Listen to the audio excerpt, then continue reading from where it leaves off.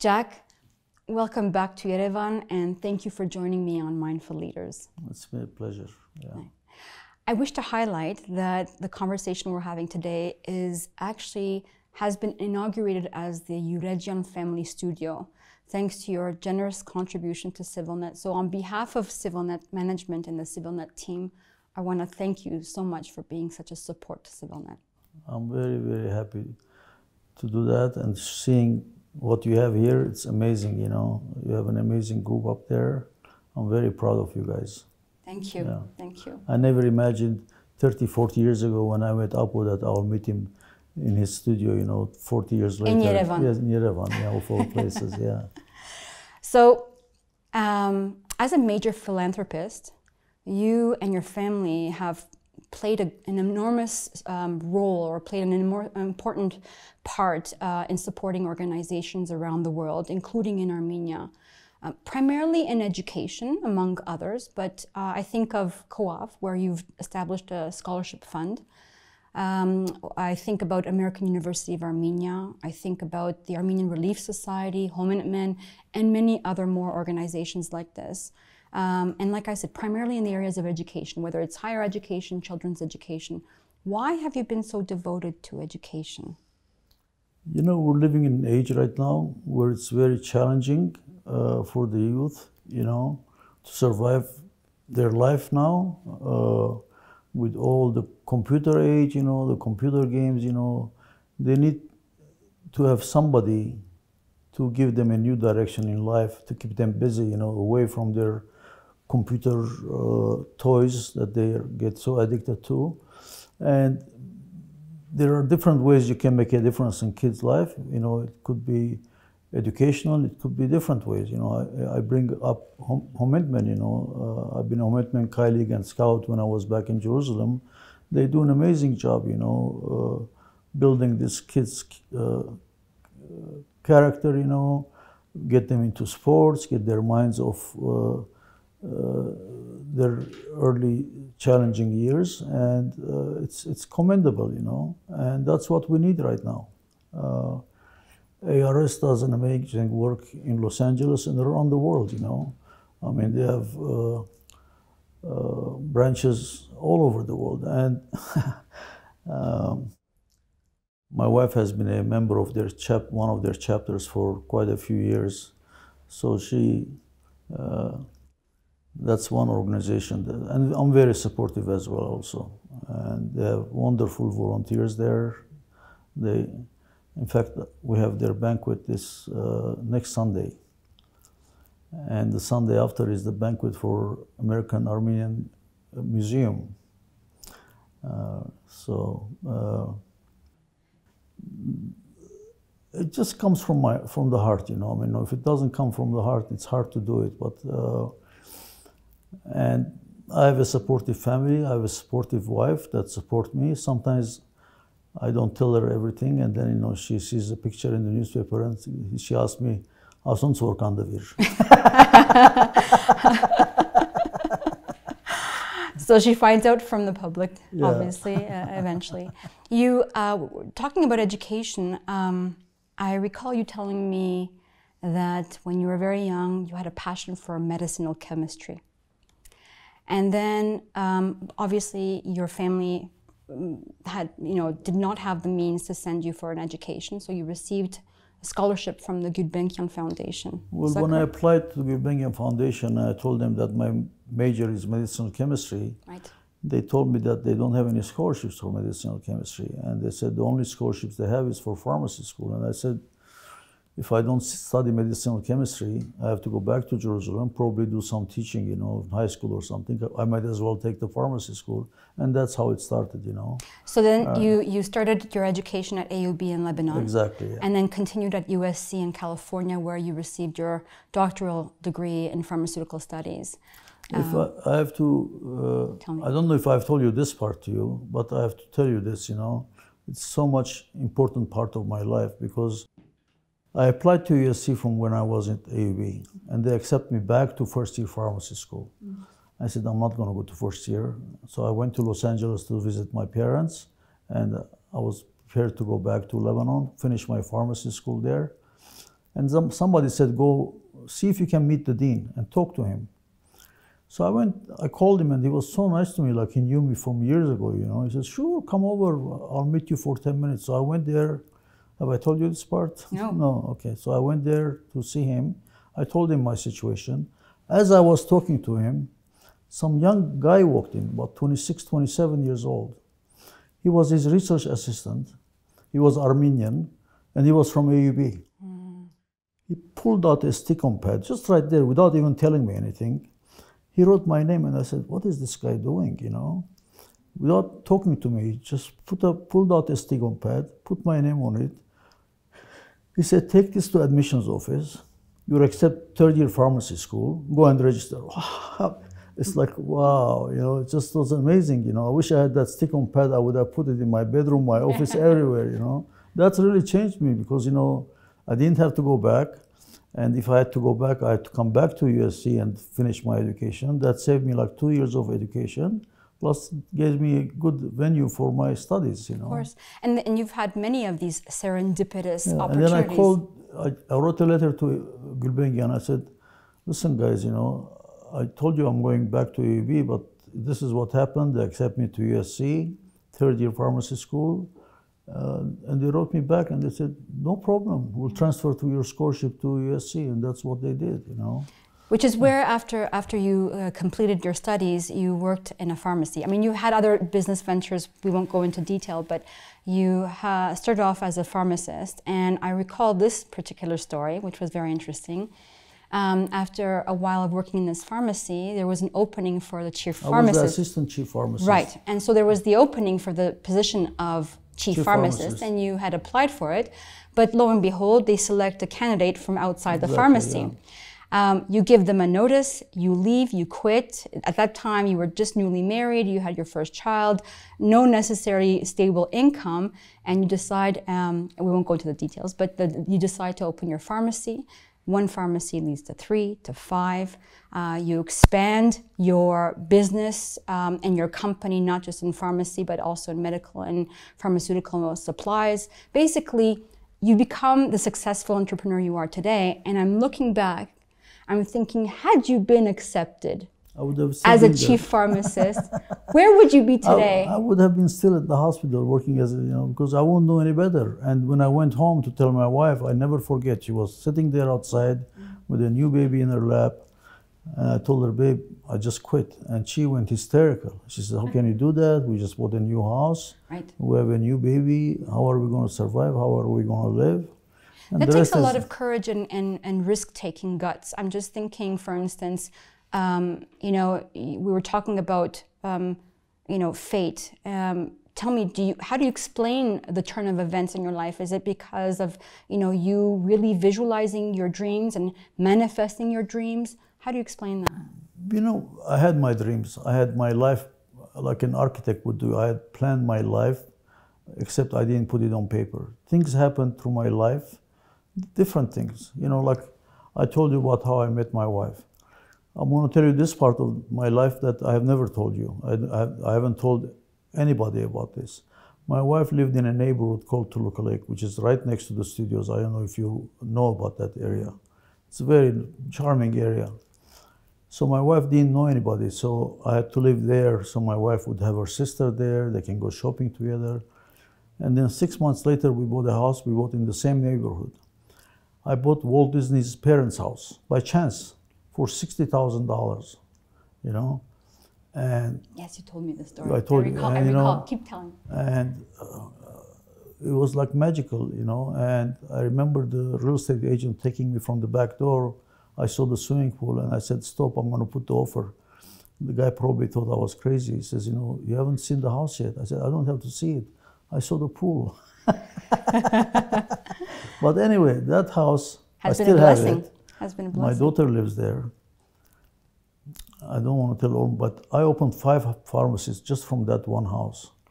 My daughter bought her building, 20,000 square feet from that house. You know, it just has been like a blessing to my family. Uh, and it's very important part of, you know, achieving, you know, you know, fulfilling my dreams, you know, because, you know, it helped me a lot, you know. Of course, of Uh, course, of course. I think of You're going to be 75 years old this year. Yes, yes. We'll talk about Zadig after, but uh, 75 years old this year, so congratulations. Thank you. Um, and I think about the 75 year study of happiness. So, Robert Waldinger, uh, famous author of The Good Life, one of his books is The Good Life. He is a he's a psychologist and a professor at Harvard, and he has conducted. I mean, it's an unprecedented study where you follow the life of individuals for 75 years. It hasn't been done before, and so during these questions, the the, the one answer that has been addressed and responded the most has been how people say, looking back in their life, um, that they wished they did not spend so much time worrying about what other people thought about them. So that's this part of the study. Now, thinking of this, what is your wish and what is your formula for happiness?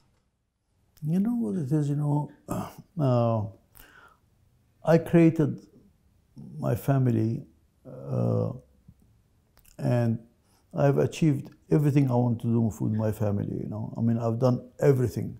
I lived the life of a multimillionaire and I've lived the life of a pauper also at the same time, you know. Because when you're a gambler, and you're a gambler in a sense that, you know, you take chances in your life, mm-hmm. in your business, you get to see the highs and the lows, you know. I've rented a 120 feet yacht to take my kids around the Mediterranean. I've lived in beautiful houses. I've lived in a rental apartment, 400 square feet. So I, I had the taste of every uh, layer of life you can think of, you know. But I, I tried to give them the best life possible, and I've tried to achieve as much as I could. This is like my, uh, uh, this last four years have been the crowning jewel of my life. That's what I call it. Why? Because you know what?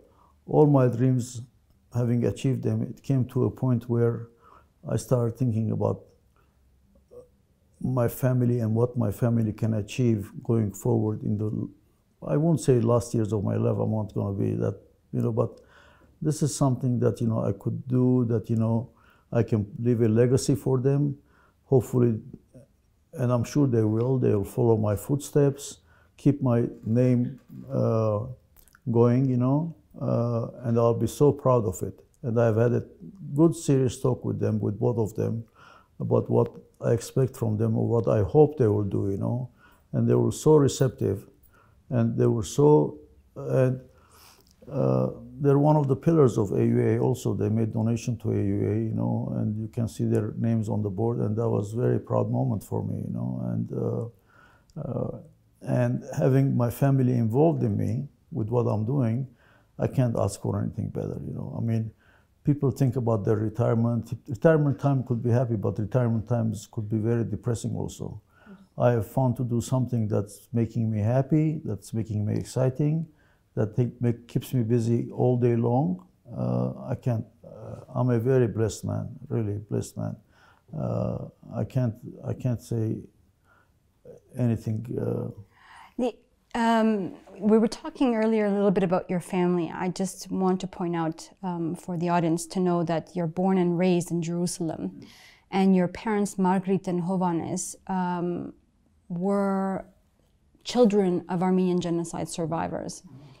And when you were telling me the story about your family, the one story that really triggered me emotionally was the story of your grandfather, your father's father, Hovannes, uh, Grigor, sorry. So Grigor, um, a man who's from Tomarza, which is the part. Yeah, yeah, yeah. Tomarza, which is the region of Gesaria in current day Turkey. Um, very touching story because this man witnesses, so he sees his entire family being shot and killed. I mean, but everybody I have to tell from. You before that, about this man. About Grigor. Grigor that in 2011 he came to Chicago. Right, in he Chicago, did. you know, in the factory. He did, and, and he returned exactly, to be to yeah. support. He returned from Chicago back to uh, to his family, yeah, yeah. and uh, and unfortunately he witnesses Yeah. the, the death of his entire family. I mean, there's nobody left living. Mm. Not parents, siblings, wife, and children Exactly, are shot, killed. So already that's a huge trauma. Yet he marries again. Second wife, with whom he has three children. And during the birth of the third child, his second wife dies during childbirth. This is the birth of your father, Hovannes. Exactly, yes, yes. Then he marries. With three children, he remarries again a third wife, Khatun. I mean, already just listening to this man's story, it's, it's enough to actually trigger a lot of emotions. Um, but and it's very natural that you tell me that you recall this grandfather Grigor being a very silent man, very zoned out, um, no sh- not showing any emotion or compassion, which is very, I think, understandable given what he's been through. And maybe your father Hovannes also not receiving the love because his birth mother had passed away. His father is already, you know, zoned out from from all that he survived. Um, tell me how how his story, specifically Grigor's story, how that resonates with you, and what how, how has that influenced You you? know, I look back to him, Grigor. He was a big man, you know, really big man, and I always saw him like he, he was there sitting, but he was not there. His mind was everywhere. I would have loved to open his brain and see what he was thinking, what he was remembering.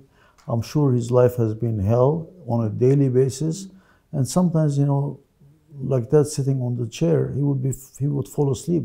And as a young boy, I I would go to my mom and said, I would say, He's I dead." think Grandpa died.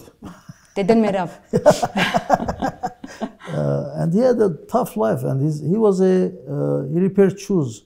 So he used to walk to a uh, village palestinian village with his box i guess and repair shoes over there. That was his life you know?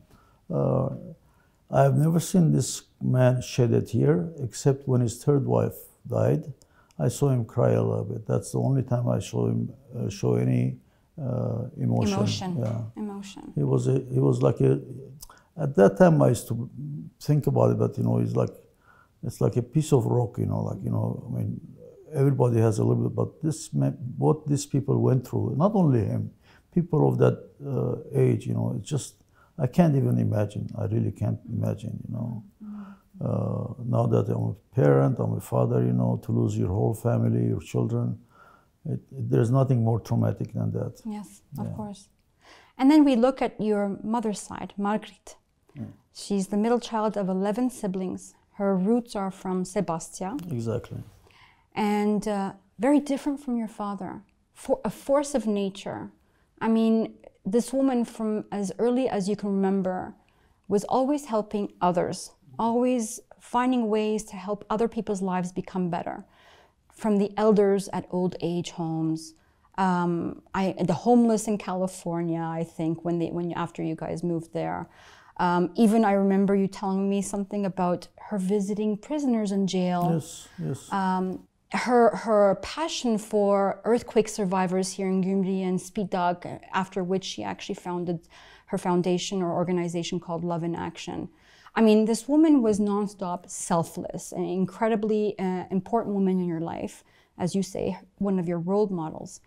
So I'm assuming, and you can tell me what you think, I'm assuming a lot of your giving nature has come from her. Am I correct? you know, it's, it's, that's what we saw growing up. It's really funny. And, you know, I look back and I said, uh, and, you know, I tell my friends, I tell people, you know, like, it's not only about money. She didn't have money. She, was, she didn't have money to give to any of these people. But, you know, she did the extra level of social work with them. Like, she would collect people from nursing homes. I send my vans from work, bring them to my house, put them in the garden. Uh, she would set up the tables, cook food for them. She would bring a musician to play the piano for them. And then the, the kids, young kids from the church would serve these elderly people. And sometimes she would take them to Hollywood Bowl, buy $2 tickets to sit in the rafters. And I said, Mom, I'll give you money, come forward. I said, honey, she says, music you can hear anywhere. You can be up, you can be down, you're going to hear the same music. So I'd rather be up and uh, listen to the music. But what I'm saying is that you don't need millions of dollars to make a difference in people's lives. You can make it, you know, in different ways. And that's what how she started, you know. And then she started her foundation. That's when she started, you know, collecting money, raising funds. I don't think with all the money I've given her, I didn't have that much at that time. Uh, she has spent one penny on herself. Every dollar I've given her, she would just spend on other people. Mm-hmm. And she was never on time in our family fun- functions. And I'd say, Mom, turn it by کنه جامانگی نگم دقاس کسی تو کام منگ تلوس و راخه یک you like kiqë më tru se na e cekur in që vi gjagak martoci, no. Je ti e s'kiqë më ushkam, je në gor, minek kedës. That's me. You always knew. You always knew when she was late for a family function. Any, she was every, somewhere helping every, somebody. Every time yeah. she was help, and I, at that time, you know, I'm new father. I have the kids. You know, expecting my mother to be there, and she would say, you know, don't take, don't think about it. You know, I mean, I, I love you. I'll be there. I'm a little bit late. It's okay. There are other people me. that need me more yeah, than you do. You know. Very, very true. She was. I have to say also both my parents were extremely, extremely religious, religious, extremely. Uh, uh, and you know, growing up in Jerusalem, I have to bring this up. Uh, yeah, growing up in Jerusalem, we were very, very well grounded. You know, we didn't have any distractions. You know, my life revolved uh, at school. After school, we would go to Homendming Agumpino or Hoichmin Agumpino, play ping pong or chess 8.30, the gates of the convent would close. We have to go home. I used to borrow books from the school library, read all night. We, I didn't, I didn't, Fedai, yeah, that, yeah, yeah. I didn't have distractions. We, we, didn't have anything else to do. We didn't have the Starbucks. We didn't have the nightclubs. We didn't, you know.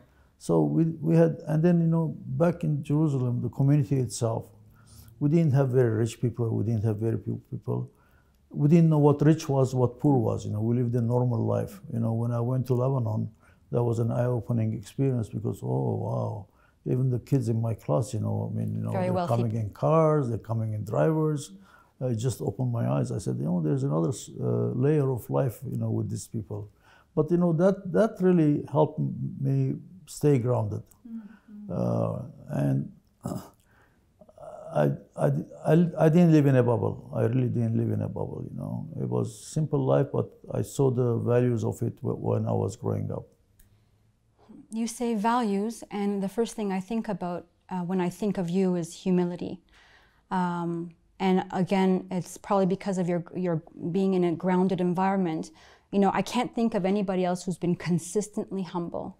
You treat all types of people, I mean, I'm a witness to it whether they're very successful professionally um, or very poor or, or, or any kind of socioeconomic condition, regardless of what, uh, you treat everybody equally with love, compassion, and respect. Um, whether it's in your community or even in your company, all this, you know, from the janitor to you name it. You know, these are values I find um, that, you know, I feel have really helped you in your life. Tell me what it takes to actually have these values. Do you, does, does somebody have to actually be born in Jerusalem under you know, very humble conditions to actually understand what these values are? Can you actually teach them or learn them? One thing I do with any of my, I don't speak about money. I don't speak about wealth, you know.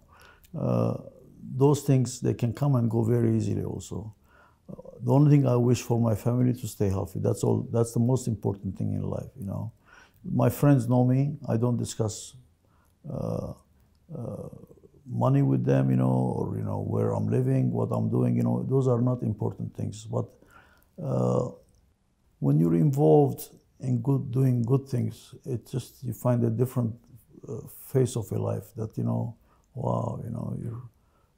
It's not only financially also that you're making uh, difference in people's lives, you know. Even at work, I treat every member of my workforce, every one of them, as part of the big family. I, every morning when I go to work, I go to from office to office, say hello to everybody. I talk to them. When I see somebody who's sad, I'll bring them to my office, ask them, you know, what's wrong. There's a, some of these kids do a lot, really, you know, because some of them work, go to school, support their family and I've established that work. We give loans to our students, uh, to our workers. They don't have to pay any interest, and we can deduct it from their wages, and it helps them a lot, you know. Except for that girl who came and asked me three hundred and fifty thousand dollars because she was buying a house.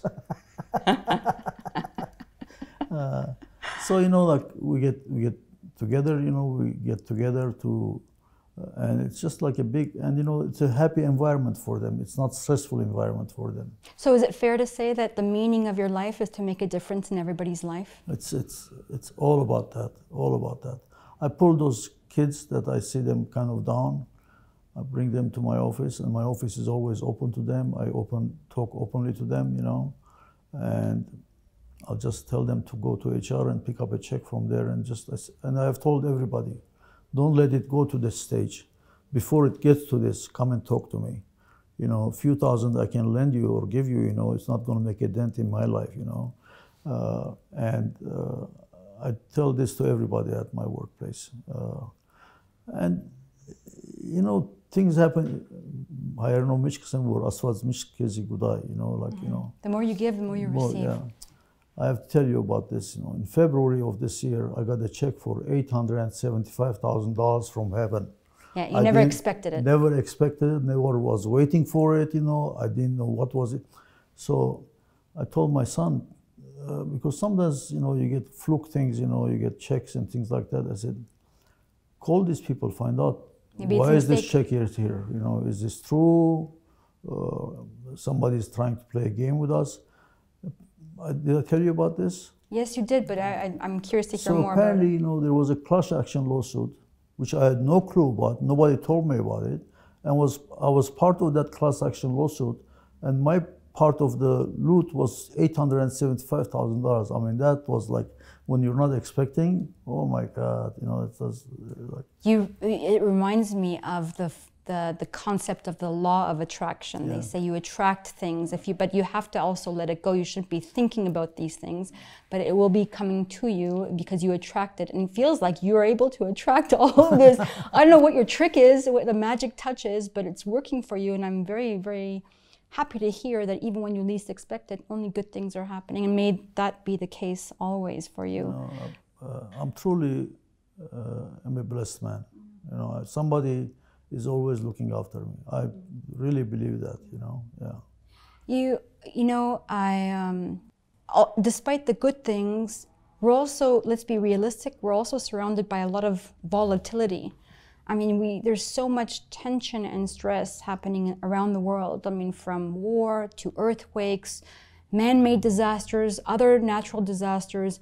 We're always constantly in this process, at least I know for myself, in this very anxious state. And I think I'm, I'm, I try to make sense of it, Jack, in the way where I've been born in a fragmented aura of traumas only, just compounded traumas. So my system is wired to always think anxiously about the next calamity or the next danger.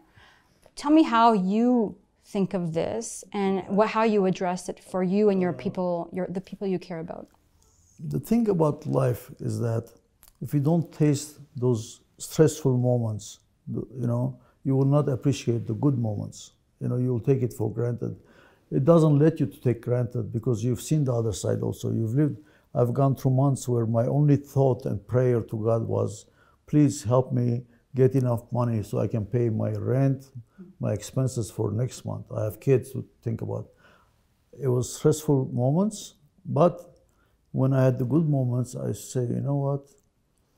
I appreciate them more because I have seen the bad part also. You know, uh, that's that's how I uh, kind of re- uh, analyze it. You know, you have to see those tough days to uh, appreciate the good days. Yeah. Fair enough. This year, apart from your 75th anniversary, birthday, it'll also be the 50th wedding anniversary um, between you and Zarik. You've been together for such a long time, and she's been a big part of your life. What, in what way would you say that your relationship has evolved over the years? And what valuable lessons have you acquired from her uh, or in your marriage? Uh, my wife, not because she's my wife, she's an amazing woman. She's such a caring woman. You know what she does every morning? At 6:30 in the morning, she starts her calls to her friends, family members, and she checks on everyone. You know how they're doing, are they okay? The worst times for her when we had the financial disaster and so many of our friends went through tough times. Oh my God, she was heartbroken. So she reaches out to everybody without even me knowing, you know, if she can help them, she can do something for them. I've told you that I proposed to her five days after I met her, you know, and that was the best moment of my life. That has changed my life. She has stood by me and supported me in such hard times. We have been to swap meets together. Do you know what a swap meet is? No. Swap meet is a big like uh, yard where different vendors come and sell their wares after I was in the clothing business. And one day her dad, her father came by and said to me, Oğlum tüm hastayı üç güne çırpın tekrar göreceğiz. You're a pharmacist, what the hell are you doing here? but, yeah. you know, uh, we had a lot of inventory, we had to get rid of that, you know, but uh, what I'm saying is that uh, she has always backed me up in good days, bad times. She has worked with me in the pharmacy when I first opened. For years, she worked with me. And uh, if I had listened to her, I would have even been, I've even done better. But she's a perfect partner for me. You know, I could have never done it. I don't say these things to her, and uh, well, hopefully she'll hear this and she she'll be happy. She, yeah, but she's been amazing. You know, she she's amazing uh, wife, amazing mother, amazing grandmother. Yeah, I just uh, I'm, I'll be concluding the, this conversation now, but I just want to say that uh, Jack, every time I sit with you, ever, you know, it's you're you're. I love your simplicity you know, it's you're you don't make yourself feel higher or lower than anybody. You know, um, you you make people feel seen. You make people feel heard. Um, it's it's your approach to life that has just been emitting and emulating nothing but positivity. I mean, I can't, I can't, I can never be negative sitting with you because you always have this positive vibe. You know, one thing for myself, and I would tell this to my friends also, whoever wants to listen to me, is that never measure life in uh, financial, uh, you know, leave that financial part out, you know, you know, measure people with what in their heart, what they think about themselves. You know, my friends, they're not very rich people, but they're really true friends. I know they'll be there for me at three in the morning, four in the morning. Mm-hmm. They don't ask me how much money you have or what you can, they can get out. I mean, we are such good friends, and money plays no value in our friendship.